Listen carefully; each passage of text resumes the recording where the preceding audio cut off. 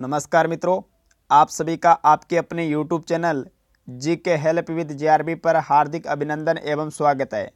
दोस्तों, इस वीडियो में हम बात करेंगे राजस्थान हाई कोर्ट भर्ती 2019 से संबंधित मोस्ट इम्पोर्टेंट 35 क्वेश्चनों के बारे में।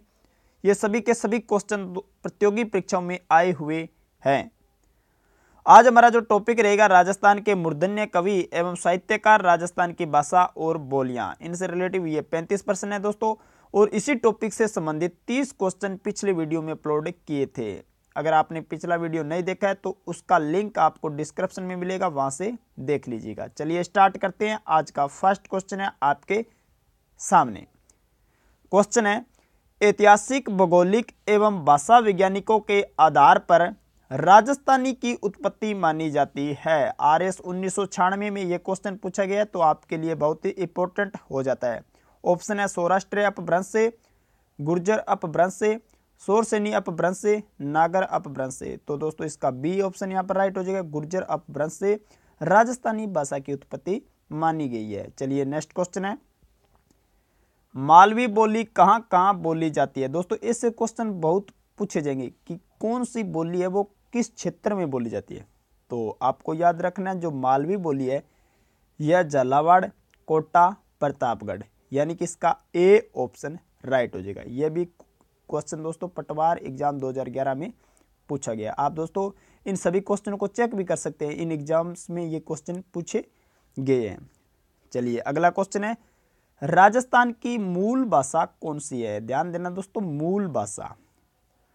तो राजस्थान की जो मूल भाषा है, वो है दोस्तों राजस्थानी। यानी कि इसका ए ऑप्शन राइट हो जाएगा। ये भी क्वेश्चन पटवार एग्ज़ाम 2011 में पूछा गया है।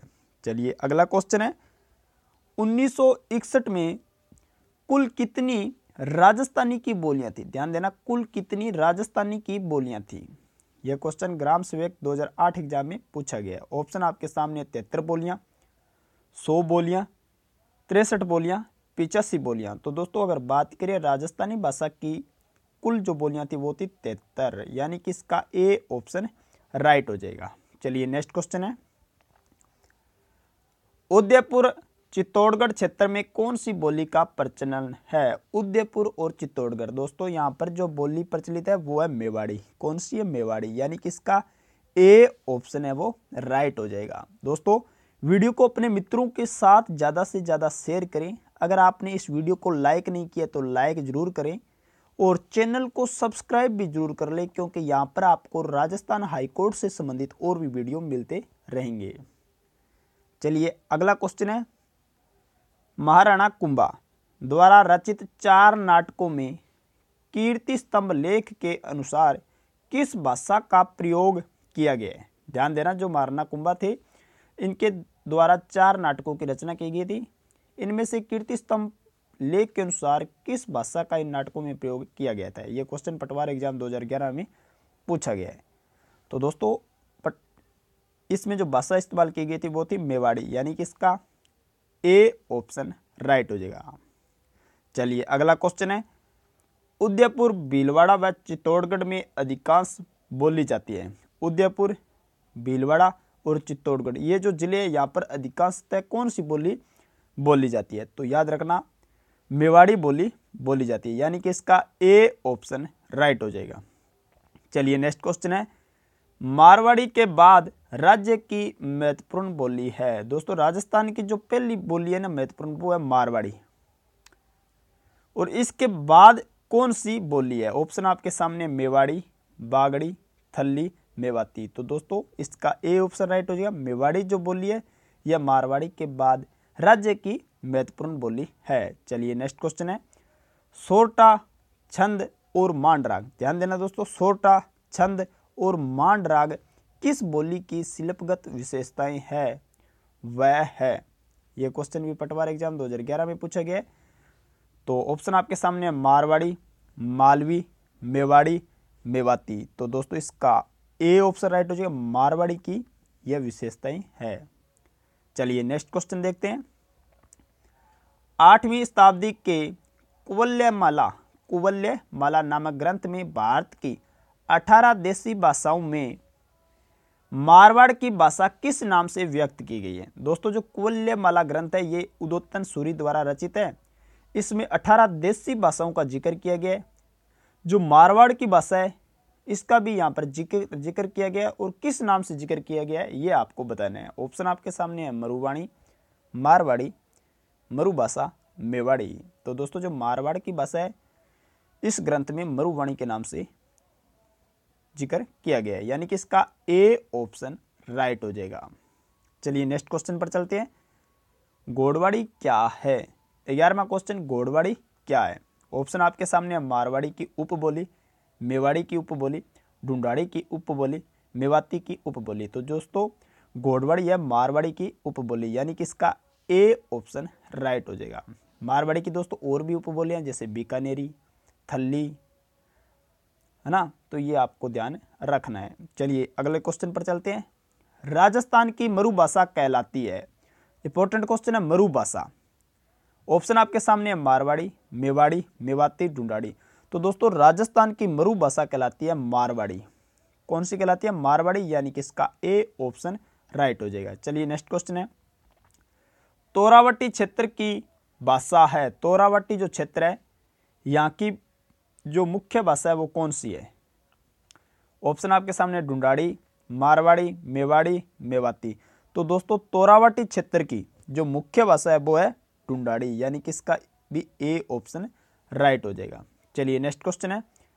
ढूंढाड़ी बोली कहाँ बोली जाती है? ढूंढाड़ी बोली कहाँ बोली जाती है? तो दोस्तों, ये बोली जाती है जयपुर दौसा टोंक। इन जिलों में बोली जाती है। जयपुर दौसा टोंक, यानी कि इसका भी ए ऑप्शन राइट हो जाएगा। दोस्तों, मैंने कल आपसे एक क्वेश्चन पूछा था, जिसका जवाब लगभग स्टूडेंट्स ने गलत दिया था।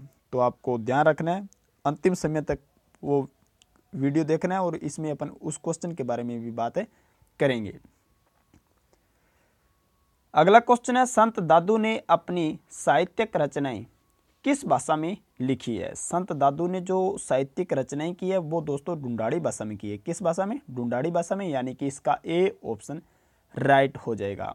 कल भी बात की थी दोस्तों, लालदास जी और चरणदास जी की जो साहित्यिक रचना है, वो किस भाषा में है, मैंने आपको बताया था, मेवाती भाषा में है। तो ये ध्यान रखना है दोस्तों, सभी के सभी क्वेश्चन प्रीवियस ईयर के एग्ज़ाम्स में पूछे गए तो इम्पोर्टेंट हो जाता है आपके लिए ये वीडियो और भी ज़्यादा।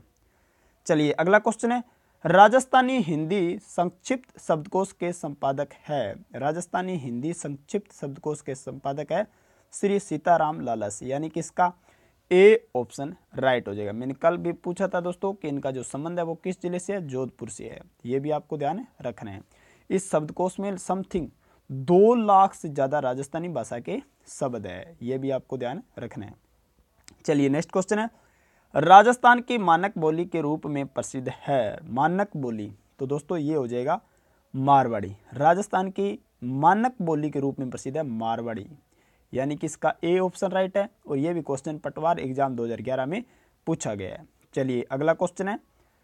चेतावनी राज चुंगटिया नामक रचना किस क्रांतिकारी द्वारा रचित की गई है? ध्यान देना दोस्तों, बहुत इंपॉर्टेंट क्वेश्चन है ये और एग्ज़ाम में अक्सर पूछा जाता है कि चेतावनी राज चुंगठिया नामक रचना किस क्रांतिकारी द्वारा की गई है? तो याद रखना, केसरी सिंह भारत द्वारा ये रचना की गई है, यानी कि इसका ए ऑप्शन राइट है। चलिए नेक्स्ट क्वेश्चन है। पंचतंत्र के लेखक है। पंचतंत्र बहुत इंपॉर्टेंट क्वेश्चन है। और दोस्तों, ये क्वेश्चन बहुत बार एग्ज़ाम में पूछा जाता है। चाहे एसएससी का एग्ज़ाम हो, चाहे राजस्थान सर्विस से रिलेटिव कोई भी एग्ज़ाम हो, वहाँ पर ये क्वेश्चन बहुत बार पूछा जाता है। तो पंचतंत्र के लेखक थे दोस्तों विष्णु शर्मा। यानी कि इसका सी ऑप्शन राइट है। चलिए नेक्स्ट क्वेश्चन है। एलपी टेसिटोरी संबंधित है। एलपी टेसिटोरी आपको बताना है दोस्तों, किससे संबंधित है चारण साहित्य से, ग्रामीण ढांचागत विकास से, राजस्थानी चित्रकला से, राजस्थान के स्वतंत्रता आंदोलन से।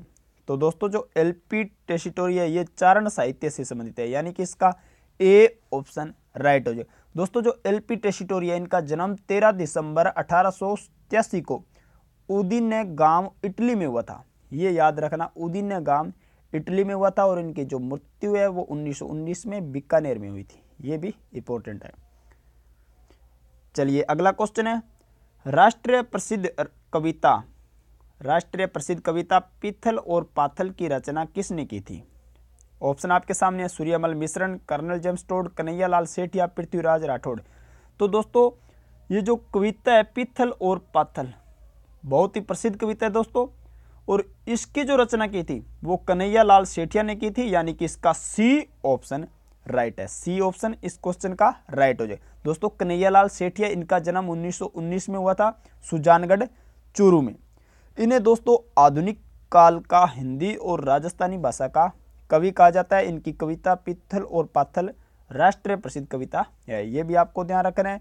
दोस्तों बाल्य अवस्था में कन्हैयालाल सेठिया, इन्होंने रमणीय रा सोटा लिखा। रमणीय रा सोटा और इनके द्वारा लिल्टास, ये ध्यान रखना दोस्तों, लिल्टास नामक काव्य संग्रह लिल्टास नामक काव्य संग्रह इसको उन्नीस सौ छिहत्तर में, उन्नीस सौ छिहत्तर में केंद्रीय साहित्य अकादमी ने पुरस्कार दिया था। मैंने कल भी आपसे एक क्वेश्चन पूछा था कि ज़मीन रो धनी कुण और मिंजर?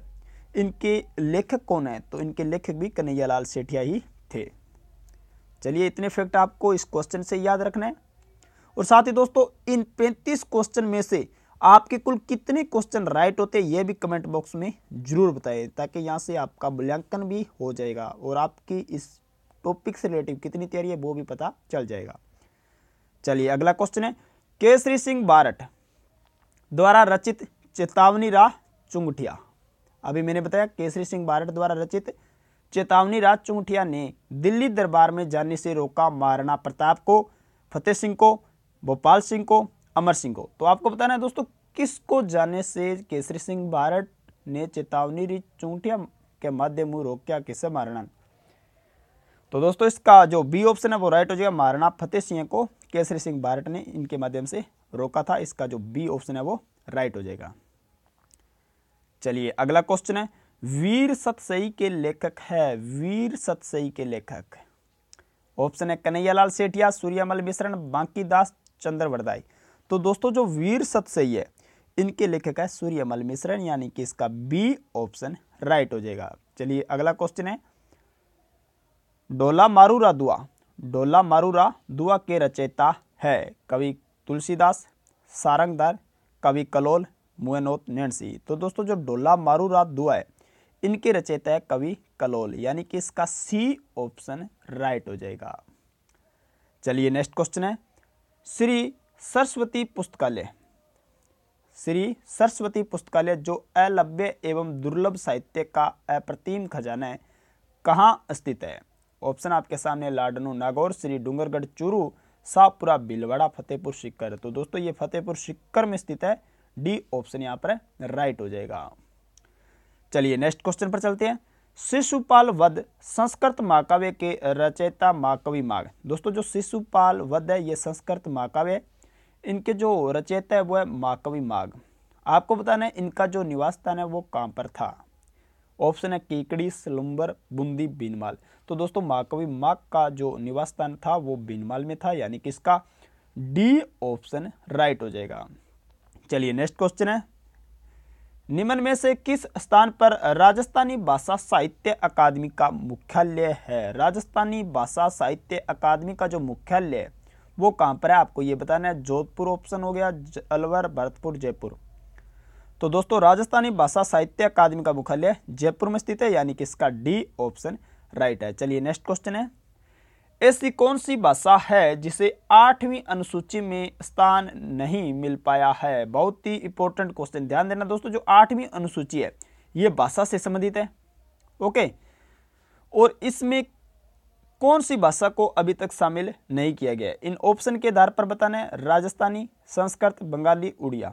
तो दोस्तों, जो अपनी भाषा है, राजस्थानी, इसको आठवीं अनुसूची में शामिल नहीं किया गया। यानी कि यहाँ पर ए ऑप्शन राइट हो जाएगा। चलिए नेक्स्ट क्वेश्चन है। ब्रज भाषा के बारे में सत्य है। सत्य कथन बताना है दोस्तों ब्रिज भाषा के बारे में। ऑप्शन है, यह मुख्यतः भरतपुर, धौलपुर में बोली जाती है। यह मुख्यतः कोटा बूंदी में बोली जाती है। यह मुख्यतः जयपुर, जोधपुर में बोली जाती है। उक्त कहीं नहीं। तो दोस्तों जो ब्रज भाषा है, यह मुख्यतः भरतपुर, धौलपुर में बोली जाती है। यानी कि इसका ए ऑप्शन सत्य है। चलिए नेक्स्ट क्वेश्चन है। जिस बोली में च और छ का उच्चारण स हो जाता है, ध्यान देना, च और छ का उच्चारण स हो जाता है। कौन सी बोली है वो? ऑप्शन है मेवाड़ी, बागड़ी, रागड़ी यह सभी तो दोस्तों, जो बागड़ी भाषा है, बोली है, इसमें च और छ का उच्चारण स हो जाता है। तो इसका बी ऑप्शन यहाँ पर राइट हो जाएगा। चलिए नेक्स्ट क्वेश्चन है। राजस्थानी शोध संस्थान जो कि जोधपुर में कार्यरत है। ध्यान देना, राजस्थानी शोध संस्थान जो कि जोधपुर में कार्यरत है, उसके संचालक है अगरचंद नाटा, नारायण सिंह भाटी नरपति नालय कोमल कोटारी तो दोस्तों, इसके संचालक थे नारायण सिंह भाटी यानी कि इसका बी ऑप्शन राइट हो जाएगा। चलिए नेक्स्ट क्वेश्चन है। वृद्ध कथा कोश एवं कुवल्यमाला प्रसिद्ध ग्रंथ किस भाषा में लिखे गए हैं? वृद्ध कथा कोश कुवल्यमाला ये प्रसिद्ध ग्रंथ है दोस्तों। आपको बताना ये किस भाषा में लिखे गए हैं? तो ये लिखेंगे संस्कृत भाषा में, यानी कि इसका ए ऑप्शन है, राइट हो जाएगा। संस्कृत भाषा में। चलिए नेक्स्ट क्वेश्चन है, वंश भास्कर के रचयिता है, वंश भास्कर के रचयिता कौन है? ऑप्शन है बांकीदास गौरी शंकर ओझा, सूर्यमल मिश्रण कविराज श्यामल दास। तो दोस्तों, वंश भास्कर है इनके रचयिता सूर्यमल मिश्र है, यानी कि इसका सी ऑप्शन राइट हो जाएगा। चलिए नेक्स्ट क्वेश्चन है। चारण शैली दूसरे किस नाम से जानी जाती है? इंपॉर्टेंट क्वेश्चन है दोस्तों, जो चारण शैली है, इसको किस अन्य नाम से जाना जाता है? तो याद रखना, डिंगल नाम से जाना जाता है, यानी कि इसका सी ऑप्शन राइट हो जाएगा। और चलिए आज का अंतिम क्वेश्चन है। निम्न में से कौन सी मारवाड़ी भाषा का साहित्यक रूप है? जो मारवाड़ी भाषा है, दोस्तों, इसे अगर साहित्य में लिखा जाए तो वो साहित्यक रूप कौन सा है, ये आपको बताना है। ऑप्शन है पिंगल, अपभ्रंश, ब्रज, डिंगल। तो दोस्तों, मारवाड़ी भाषा का साहित्यिक रूप है डिंगल, यानी किसका? डी ऑप्शन राइट हो जाएगा। तो दोस्तों, ये थे मोस्ट इंपोर्टेंट पैंतीस क्वेश्चन। अब बात कर लेते हैं दोस्तों, जो पूर्व की वीडियो में आपसे क्वेश्चन पूछा गया था, उसके बारे में। पूर्व के वीडियो में आपसे क्वेश्चन पूछा गया था कि राजस्थान में जनसंख्या के आधार पर सर्वाधिक बोली जाने वाली भाषा है। और दोस्तों, इसका लगभग स्टूडेंट्स ने उत्तर दिया मारवाड़ी, जो कि गलत था। सर्वाधिक बोली जाने वाली भाषा जनसंख्या के आधार पर ढूंढाड़ी है, यानी कि इसका ए ऑप्शन राइट था। और आपको याद रखना है दोस्तों, ढूंढाड़ी है। ये जयपुर, दोसा, टोंक वाले क्षेत्र में बोली जाती है। आप सभी को मालूम है, जयपुर जो जिला है यहाँ पर समथिंग 10 परसेंट पूरे राजस्थान की जनसंख्या निवास करती है। अगर बात करें मारवाड़ी, ये दोस्तों पश्चिमी मृस्थलीय भाग में बोली जाती है और पश्चिमी मृस्थलीय भाग में जनसंख्या बहुत कम निवास करती है तो आपको सीधा सा ध्यान रखना है। मारवाड़ी है यह क्षेत्रफल के आधार पर सर्वाधिक बोली जाती है और जो जनसंख्या के आधार पर बोली जाती है वो है ढूंढाड़ी तो इसका ए ऑप्शन राइट था। और अब बात करते हैं दोस्तों क्वेश्चन ऑफ़ द डे के बारे में, जिसका जवाब आपको वीडियो के कमेंट बॉक्स में देना है। क्वेश्चन है, राजस्थानी भाषा का पहला व्याकरण किनके द्वारा लिखा गया है? ऑप्शन आपके सामने Ramkaran, Asopa, Colonel James Tod, George Abraham Grierson, Suryamal Mishran. तो दोस्तों, इस क्वेश्चन का जवाब आप वीडियो के कमेंट बॉक्स में ज़रूर देवें। आपको यह वीडियो कैसा लगा, यह भी कमेंट बॉक्स में ज़रूर बताएँ। अगर आपने वीडियो को लाइक नहीं किया तो लाइक ज़रूर करें। अपने मित्रों के साथ इसे ज़्यादा से ज़्यादा शेयर करें। अगर चैनल को सब्सक्राइब नहीं किया है तो सब्सक्राइब भी ज़रूर कर ले। धन्यवाद दोस्तों, मिलते हैं नेक्स्ट वीडियो में। तब तक के लिए जय हिंद, वंदे मातरम।